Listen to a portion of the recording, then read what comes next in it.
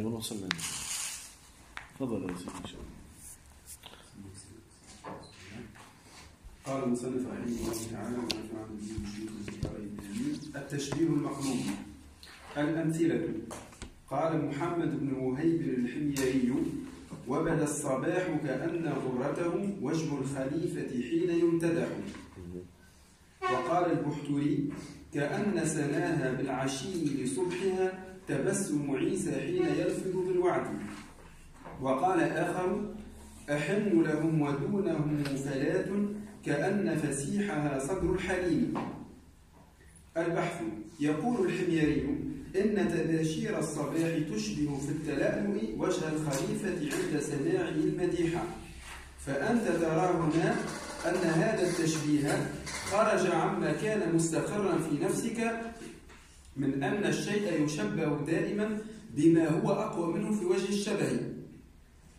إذ المألوف أن يقال إن وجه الخليفة يشبه الصباح ولكنه عكس وقلب للمبالغة والإغراق بادعاء أن وجه الشبه أقوى في المشبه. عندك أن يقال إن وجه الخليفة. مش مشكلة لا لا لا مش على الشكل أنا مكتوب عندي إن الخليفة. إن وجه الخليفة. واضح. به إيه؟ ولكنه عكس وقلب للمبالغة والإغراق بادعاء أن وجه الشبه أقوى في المشبه وهذا التشبيه مظهر من مظاهر الافتنان والإب- والإبداع. ويشبه مفهوم المسألة التشبيه الم- المقلوب. يعني ال- الأصل أن يكون لدينا مشبه ومشبه به. والوصف يكون في المشبه به أقوى منه في المشبه. لما نقول زيد كالأسد الأصل أن يكون وصف الشجاعة يعني أبرز وأظهر في في الأسد. آه، لكن لما يقلب يمكن أن لبعض من يقلب يضع المشبه مكان المشبه به. قال هنا وبدا الصباح. آه، كأن آه، غرته وجه الخليفة. فهنا الأصل أن أنه يمدح الخليفة ويبين حسن وجهه. فيجعله مشبها ويشبه وجه الخليفة بالصباح ولكنه فعل العكس. قال بدا الصباح وهذا الصباح كأن آه، غرته وجه ال- الخليفة. هذا يسميه العلماء ماذا؟ تشبيه مقلوب. يعني آه، هو يعني وكأن فيه ادعاء أن هذا الممدوح بلغ في يعني في هذا الوصف سواء كان حسنا أو جمالا أو شجاعة يعني آه، بلغ آه، مقاما أرفع من من هذا الأصل. جعل الأصل فرعا والفرع شنو؟ آه، أصل. نعم. أي ويشبه البحتري برق السحابة الذي استمر لماعا طوال الليل بتبسم ممدوحه حينما يعد بالعطاء. ولا شك أن يعني لمعان البرق أقوى من دليل الابتسام. نعم. وكان المعهود أن يشبه الابتسام بالبرق كما هي عادة الشعراء ولكن البحتري قلب التشبيه. يعني وممدوحه هنا هو عيسى هذا. نعم. أي؟ وفي المثال الثالث شبهت الفلاة بصدر الحليم في الاتساع وهذا أيضا تشبيه مقلوب نعم. القاعدة أي. التشبيه المقلوب هو جعل المشبه مشبها به بادعاء أن وجه الشبه فيه أقوى وأظهر. نعم. نموذج كأن النسيم في الرقة أخلاقه. المشبه النسيم المشبه به أخلاقه وجه الشبه الرقة نوع التشبيه تشبيه مقلوب نعم. مثال الثاني وكأن الماء في الصفاء طباعه أي. الماء والمشبه طباعه والمشبه به. الصفاء وجه الشبه وهذا نوع من التشبيه المقلوب وكأن ضوء النهار جبينه. آه، ضوء النهار المشبه جبينه هو المشبه به. الإشراق وجه الشبه ونوع التشبيه مقلوب وكأن نشر الروض حسن سي وكأن نشر الروض حسن سيرته. نشر الروض هو المشبه المشبه به حسن سيرته وجه الشبه جميل الأثر وهو تشبيه مقلوب نعم. واضح يظل هذا سهل حتى خينا اللي ما جابوش معهم نسخة واضح.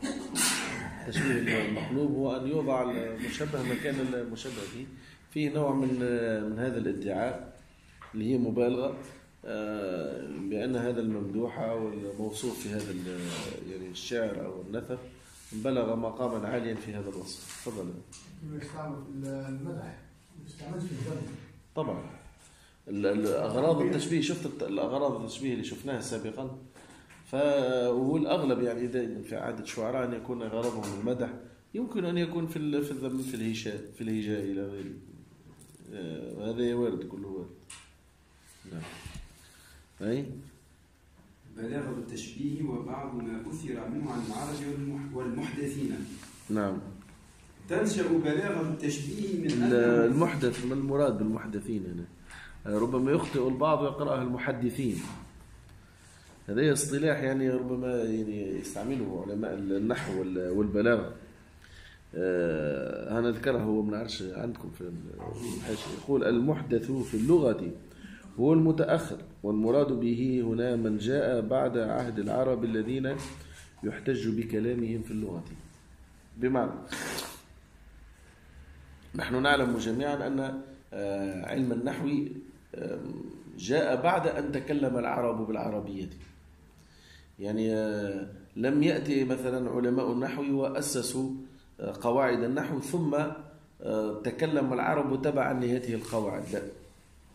وإنما كان العرب يتكلمون بالسليقة بالقريحة وفي مرحلة من المراحل يعني اختلط العرب بالعجم يعني بسبب الفتوحات الإسلامية وهذا وقع يعني وظهر جليل في زمن علي بن أبي طالب رضي الله عنه. ورأى أمير المؤمنين علي رضي الله عنه أن أنها أنها في هذا خطر على على الدين أصلا لأن لأنه فشو هذا اللحن. إذا كثر سيؤدي إلى آه، الفهم الخاطئ لكلام الله عز وجل ولكلام النبي صلى الله عليه وسلم. فأشار على أبي الأسود الدؤلي أن يضع للناس علما تضبط به لغة العرب. فالأصل ركزوا مليح مليح وأنه القواعد النحو هي مطاوعة لكلام العرب. يعني أبو الأسود الدؤلي رحمه الله بدأ يتتبع كلام العرب وينظر. هو سأل, سأل في البداية أمير المؤمنين.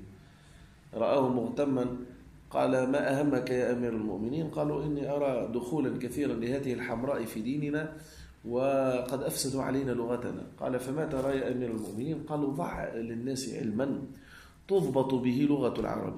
قال كيف ذلك؟ قال قل لهم كل فاعل مرفوع وكل مفعول منصوب وكل مضاف إليه مجرور. أنحوا هذا النحو. أي يسلك هذا المسلك. نعم أو هذا الطريق. وفي رواية يعني كان قد رقن أو كتب سيدنا علي رضي الله عنه هذه الكلمة. وبدأ أبو الأسود رحمه الله تابعي جليل مخضرم آه، بدأ يتتبع كلام العرب ويضع القواعد.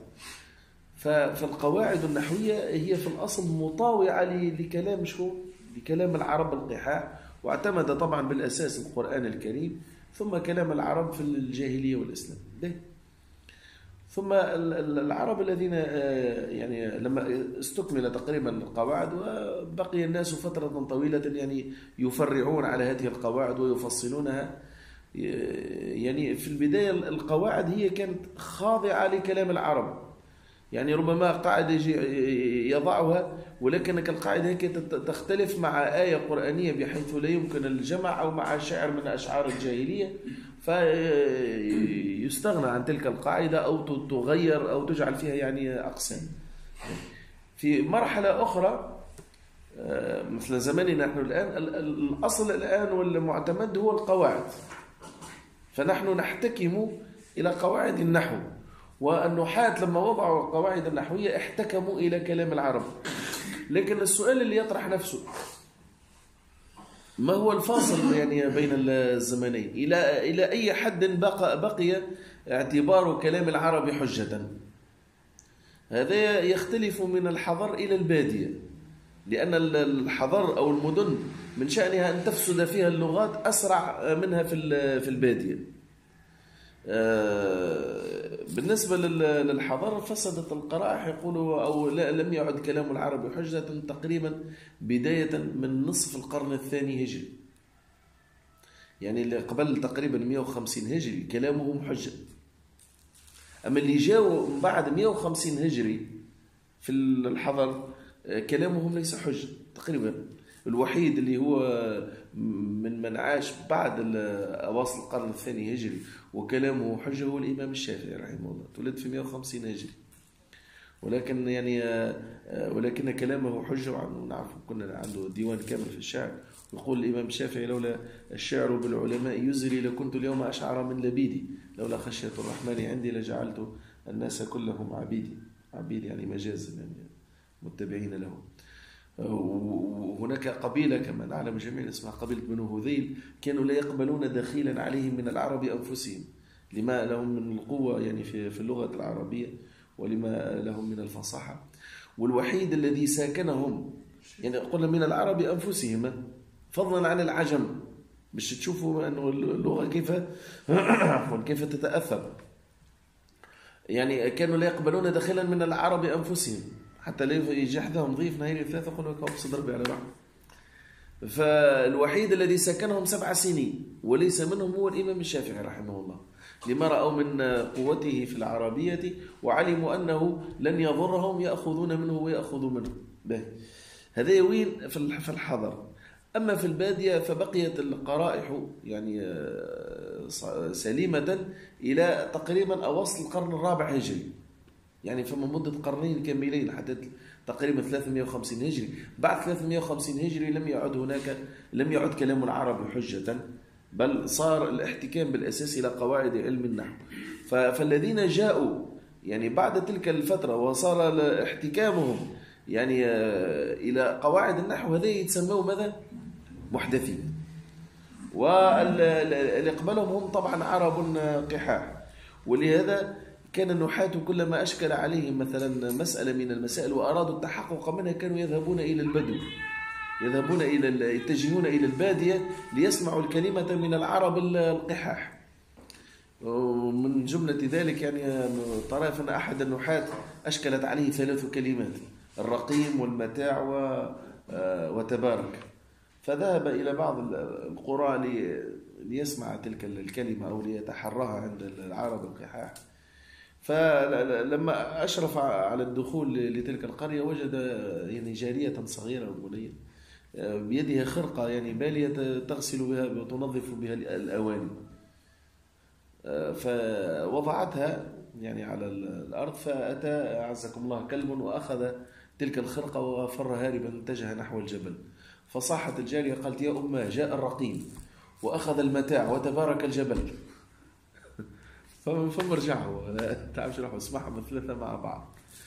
أحد الأعراب يعني جاء إلى ال- إلى الحاضرة ل- يعني آه، لقضاء بعض الشؤون ودخل المسجد ليسمع بعض الدروس. فجلس في حلقة النحو ولم يكن يعلم كان يظن ربما سيسمع الفقه أو سيسمع يعني الأحاديث. فكان الدرس ضرب زيد عمرا وضرب زيد والفاعل مرفوع. فبعدما أن انتهت الحصة قيل له ما رأيك في في هذا الدرس؟ قال ما, ما, ما هذا الذي تدرسونه؟ قالوا هذا النحو. قالوا لا لا النحو لا جئت ولا فيه أرغب. دعوا زيدا وشأنه أينما شاء يذهب. أنا مالي ومال امرئ إن أراه أبد الدهر يضرب. مثل ها مثل هذا الشخص لا يحتاج إلى العربية ولا القصص التي رأيناها. لما قرأ أحدهم في الصلاة وأذان من الله ورسوله إلى الناس يوم الحج الأكبر أن الله بريء من المشركين قرأها ورسوله وهي ورسوله فزعم الأعرابي أنه بريء من رسول الله. فلما سمع سيدنا عمر غضب يعني وأعد الدرة فلما سأله قال كيف لا أبرأ منه وقد برئ منه الله تعالى؟ قال كيف ذلك؟ قال قرأ إمامكم أن الله بريء من المشركين ورسوله؟ قال لا ليست هكذا يا أعرابي إنما هي أن الله بريء من المشركين ورسوله. قال وأنا بريء ممن برئ منه الله ورسوله. فأمر عمر رضي الله عنه أن لا يقرأ القرآن إلا عالم باللغة. يعني هذا ربما ال ال يعني القرار الذي اتخذه أو يعني سيدنا عمر في نوع من العلاج وظاهرا لن تستفحل يعني بعده كثيرا. مع الحجاج. آه؟ لا لا يعني يعني مع سيدنا عمر ما اذكره أنا مع سيدنا عمر. و موجود قصص كثيرة أخرى قصة قرأ أحدهم والسارق والسارقة فاقطعوا أيديهما جزاء بما كسب نكالا من الله والله غفور رحيم. الأعرابي قال هذا ليس قرآنا. تحيروا كيفاش؟ قال فلما سأل يعني من بعد شكون قالوا لا الآية والله عزيز حكيم. قال هذا قرآن. يعني فاقطعوا أيديهما ونكالا من الله بعد قل الله غفور رحيم. هذا في علاقة بعلم البلاغة. مش في علاقة بعلم النحو ولا نحويا ليس هناك أي إشكال. إلى غير ذلك أه؟ عز فحكم فقطع نعم عز فحكم فقط. لم يقطع آه لا لا لم نعم. على كل حال. وكلام العرب على ماذا اعطوني آه على ماذا اعتمد هذه أي أعطيني أنت لغة الدارجة الآن اللي تتكلم بها مثلا. و500 طاحت في المية ودفعت بلي. هذيك وين القواعد نتاعها؟ ريتك اللغة الدارجة تو فماش كتاب. تو أنت تبدأ تسمع واحد تقول لا هذايا من المسعدي كي يقول لك لبست الشلاكة وحجمت شلاغمي تعرف اللي هو من المسعدية خاطر هما عندهم شلاغم وهاني ترقيق وتفخيم مش حركة. وأحنا ما عندناش شلاغم إحنا نقولوا شلاغم. ما نقولوش شلاكة نقولوا شلاكة مثلا في مساكن هذا نحكي فهوني لهجة تونسية واحد. د- تخرج مثلا في مكان فيه جماعة الأردن وسوريا وكذا تعرف هذا تونسي. كي تبدأ هنا على التضييق تعرف اللي هذايا معناها من من مساكن. فما نحتاجوش لأن نتكلموا هذين نسمى نتكلموا بالسليقة. فالعرب كانوا يتكلمون العربية سليقة. لكن من بعد لما اختلط بهم العجم فصارت تأثرت اللغة العربية. فهذوكم عرب يعني أوائل ونحن الآن في زمننا نحن نحتكم بالأساس إلى قواعد النحو. بي هذا يعني لفتة وإن كان المقدمة هذه دائما نذكرها يعني في لما ندرس يعني علم النحو لكن ما يمنعش هو هنا أثيرت يعني هذه لا- قال ال- المحدث في اللغة المتأخر والمراد به هنا من جاء بعد عهد العرب الذين يحتج بكلامهم في اللغة. فالخلاصة أن الذين يحتج بكلامهم يعني هم ال- هم الأصل وهم العرب يعني اللي كانوا في الجاهلية وإلا في الإسلام إلى حدود أواصل القرن الثاني هجري في الحاضرة في المدن أو إلى أواصل القرن الرابع في ال- في البدو واضح المسألة إن شاء الله أي نواصل وين؟ تنشأ بلاغة التشبيه من أنه ينتقل بك من الشيء نفسه إلى شيء طريف يشبهه أو صورة بارعة تمثله.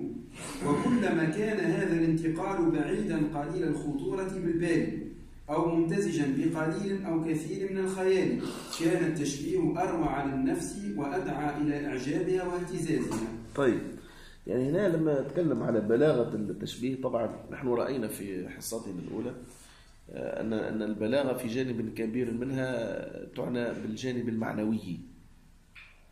الفصاحة تعنى بالجانب تقريبا اللفظي اللي هي يعني آه، سلامة ال- الكلام. يعني من ال من ال شو اسمه التنافر آه، وكذلك التعقيد أو الغرابة بالنسبة للمفرد ومخالفة قواعد اللغة. يعني في جانب كبير منها الفصاحة تعنى باللفظ. البلاغة تعنى باللفظ وتعنى كذلك بالمعنى وهي موافقة الكلام لمقتضى آه، الحال. مع الجمال الذي ينبغي أن أن يكسو يعني هذه اللغة يعني ويحليها في آذان السامعين. قال تنشأ بلاغة التشبيه من أنه ينتقل بك من الشيء نفسه إلى شيء طريف يشبهه أو صورة بارعة آه، تمثله. يعني هذا يتكلم على عنصر الجمالية في اللغة العربية. وكلما كان هذا الانتقال بعيدا قليل الخطورة بالبال ممتزجا بقليل أو كثير من الخيال كان تشبيهه أروع في النفس.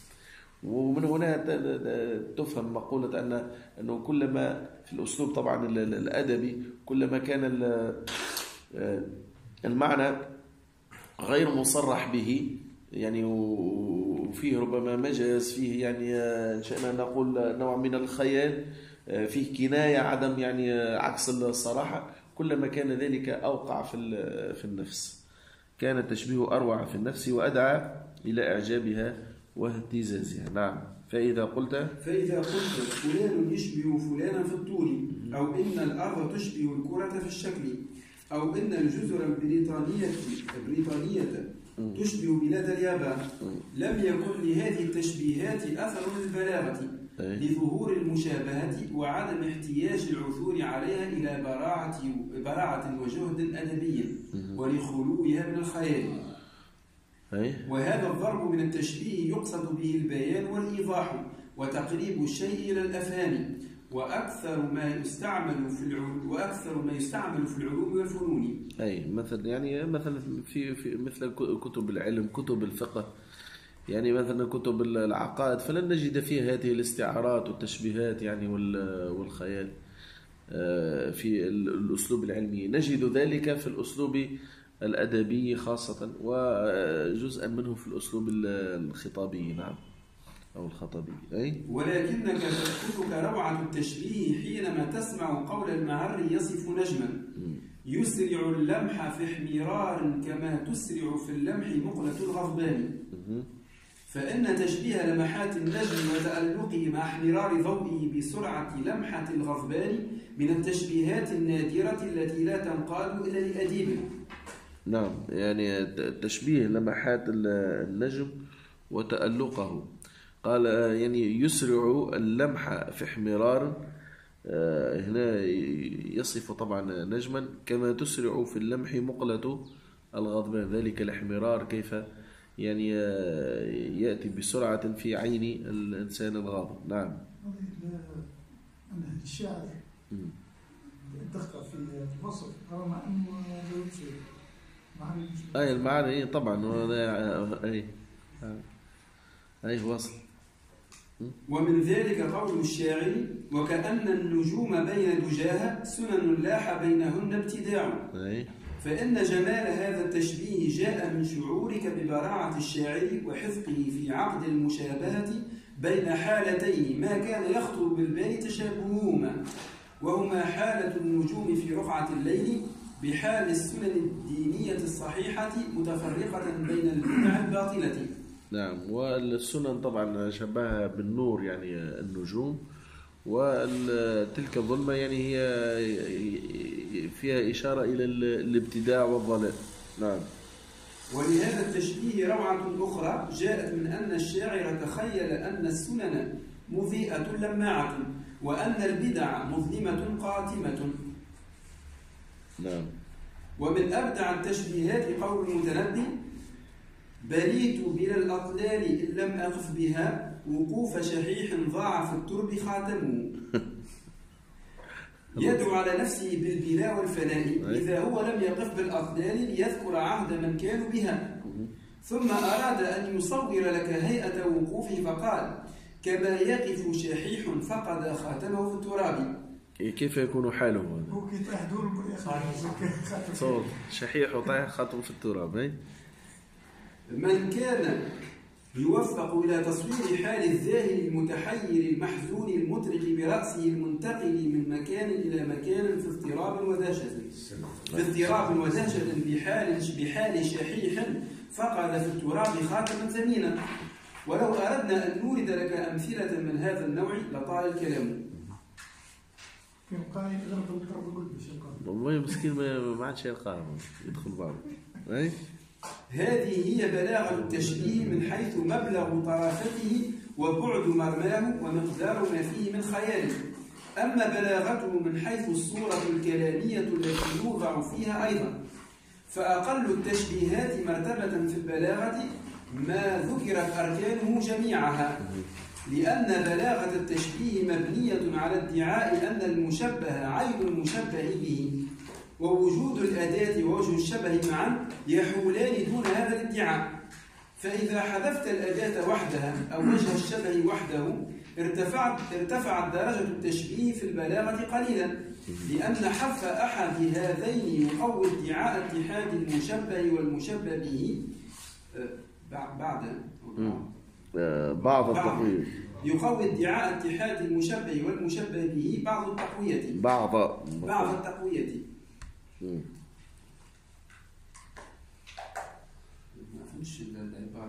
آه، لأن حذف أحد هذين يعني حذف وجه الشبه أو آه، أو أو الأداة.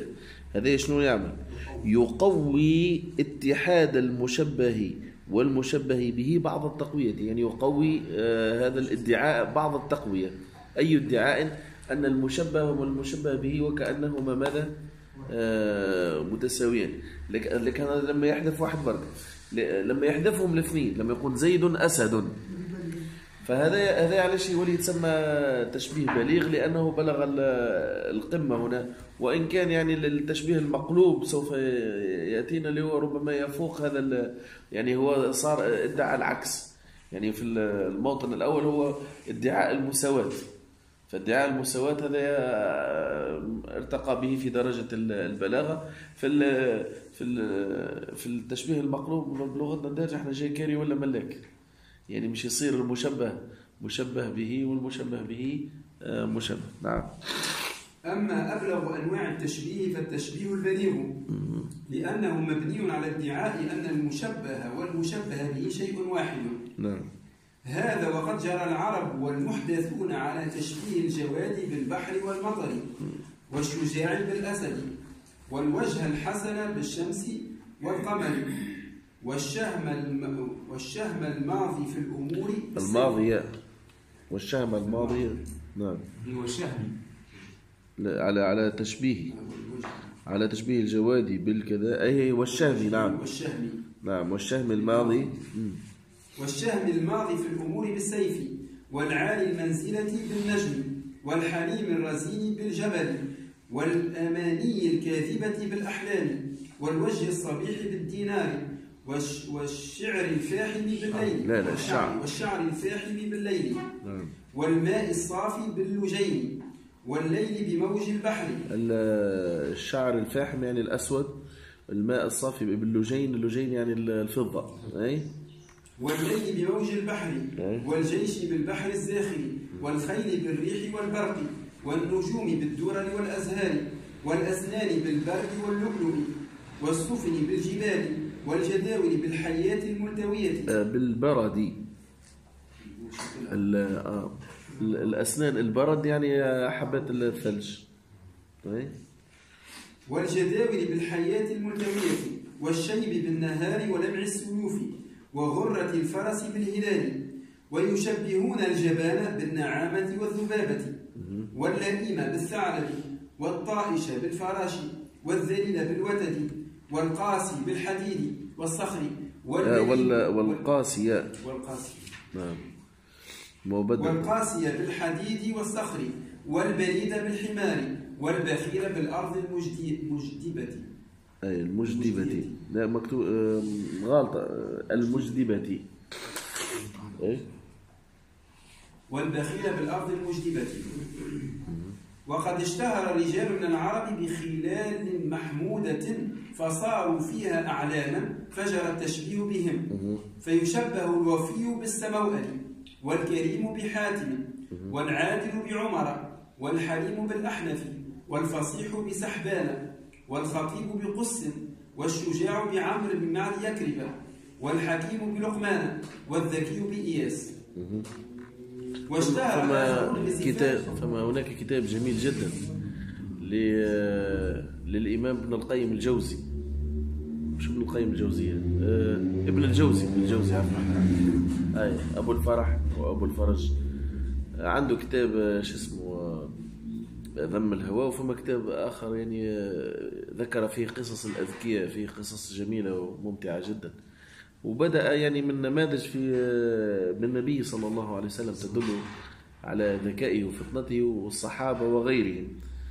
آه، فذكر فيهم يعني آه، مثال هؤلاء مثل إياس ذكر له قصصا كثيرة. نعم. مشتهرة؟ واشتهر آخرون بصفات ذميمة فجرى التشبيه بهم أيضا فيشبه العي بباقلة ال- آه، العي. إحنا نقول لا لا. ال- العي معناها مش مبلصمة ما يجي يطبها يعماها هذاك. أي. والأحمق بها بنقة أي. والنادم بالكسعي. نعم ال- الكسعي هذا عنده قصصها. آه، هو غامد بن ال- الحارث. خرج مرة للصيد النادم هذا الكسعي خرج مرة للصيد فأصاب خمسة حمر بخمسة أسهم حمر وحشية.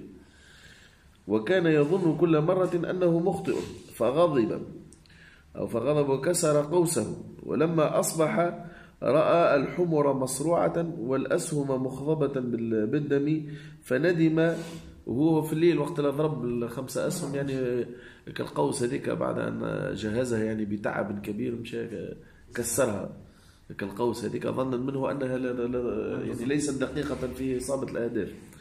فلما رأى أن أن الأهداف قد أصيبت فندم على أن انكسر قوسه. قال فندم على كسر قوسه وعض إبهامه فقطعها. هذا يعني صار صار معيار يعني يقاس به ال- صفة الندم ربي يحفظه ها؟ أي. لا هذيك دلالة الحمق. يحبوا اثنين يعني كانوا يمشيوا يعني واختلف في في في أمر. شنو الأولى دعاه هو؟ قالوا قصر اثنين. آه. أي لا دعا الأول قال دعا أن أن يرزقه الله يعني غنما مثل يعني عدد النجوم. والآخر قالوا ماذا تتمنى؟ قال أتمنى أن أن تكون لي ذئاب بعدد أغنامك فتأكلها. فغضب وقعت بينهما خصومة. فاعترضهما شيخ يعني عنده يعني على حمار صغير وله قلتان يعني مملوءتان عسلا. فاحتكم إليه. لما روي له القصة غضب وأخذ العصا وضرب كسر قله العسل الأولى وقله العسل الثانية وقال لهم أسال الله دمي كما يسيل هذا العسل إن لم تكونا احمقين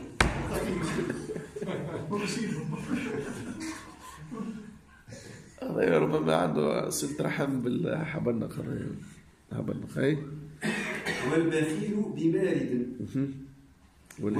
والهجاء. والهجاء بالحقيقة. اي والقاسي بالحجاج. نعم. هجوا شو- ي- ي- يهجو الناس كثيرا. حتى يوصل حتى نفسه. اي نعم. باهي من بعد شعنا؟ الحقيقة وال- الحقيقة والمجاز. به. هو أنا اليوم الغالب عندي ال- مش ال- مش ال- لازم تدخل بالسنان آه، قبل ما نبداو الحقيقة والمجاز باش نعطيكم مقدمة نعمل فيها بشكل تشجير و- وغدوة إن شاء الله نبداو الحقيقة والمجاز به شوفوا يا مشايخ ركزوا معي ومنش نغتنم بخاطر ال- ال- الجماعة فما اللي ما جابوش كتاب نعتذروا إحنا ما قلنا لكمش الكل قلنا آه معناها إن شاء الله آه ثلاثة اثنين وثلاثة هذوكم بلغ واضح والأربعة حديث وتنزيدوا نحكي غدوة إن شاء الله على الحديث. به شوف اللغة العربية فيها الألفاظ المترادفة وعكس المترادفات هو المتكثر المعنى. واضح ولا؟ عندنا ألفاظ شنو؟ مترادفة يعني ألفاظ كثيرة ومعناها واحد. أسد ليث غضنفر. هذه إيش تتسمى؟ ألفاظ مترادفة. يعني ال- الألفاظ كثيرة والمعنى واحد. عكس هذا شنو؟ هو أن يكون اللفظ واحد والمعاني كثيرة. اللفظ واحد وشنو؟ والمعاني؟ هذه شنو يتسمى؟ بعضهم يقول اختصارا يقول هو هي المتشابهات آه، عفوا اللفظ المشترك. لكن هذا الكلام ليس دقيقا يعني لما تكون ال- ال- ال- المعاني كثيرة واللفظ واحد يسميه العلماء المتكثر المعنى. يسميه العلماء شنو؟ المتكثر ال- المعنى. واضح الكلمة. الآن. متكثر ال- المعنى يعني ال- ال- اللفظ واحد وال- والمعاني كثيرة أما المتكثر المعنى. آه، أنتم المفروض شكون آه، إحنا يمكن نكملوا درجين من زمان. مش شدنا أكثر؟ مش نعملها باختصار ونزيدوا نفصلوها آه، حصتنا القادمة. المتكثر المعنى فيه ثلاثة أقسام. أول قسم. مشترك يسميه العلماء المشترك.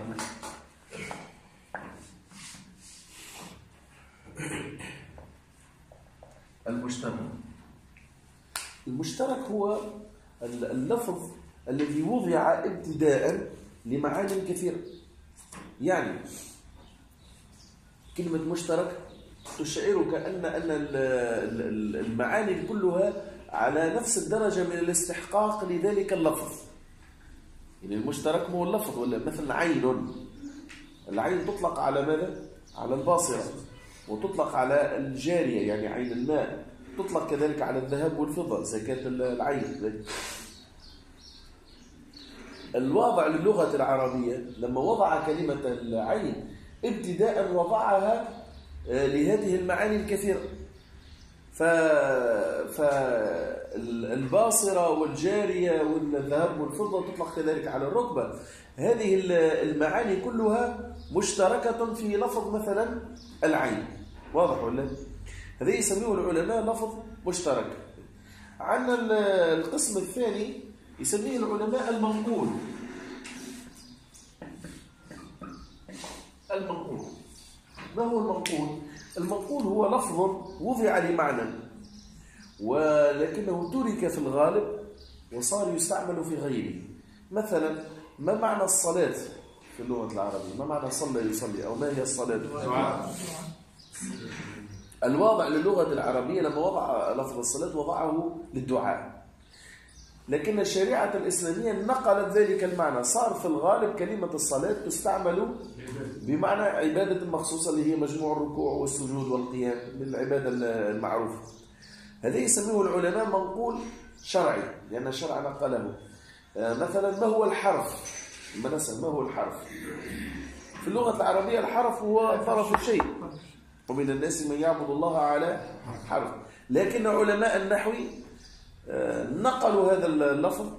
ترك معنى الطرف وصار يستعمل بمعنى كلمة غير مستقلة بالمفهومية.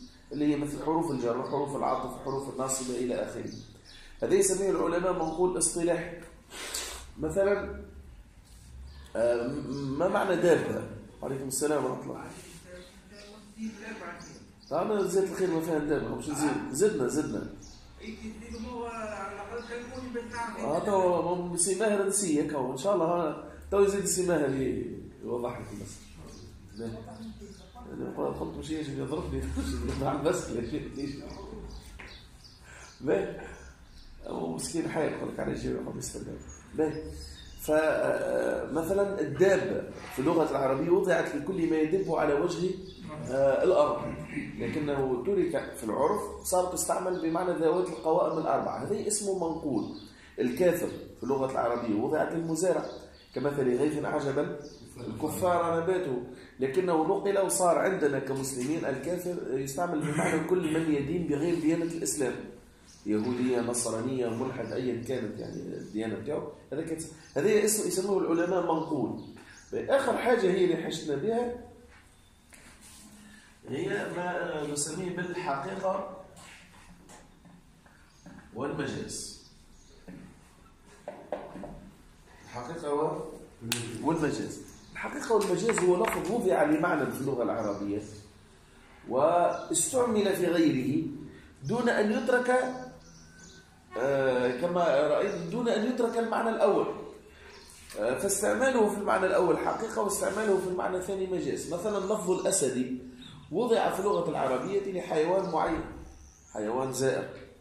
زائر يزأر مش زائر يزورنا.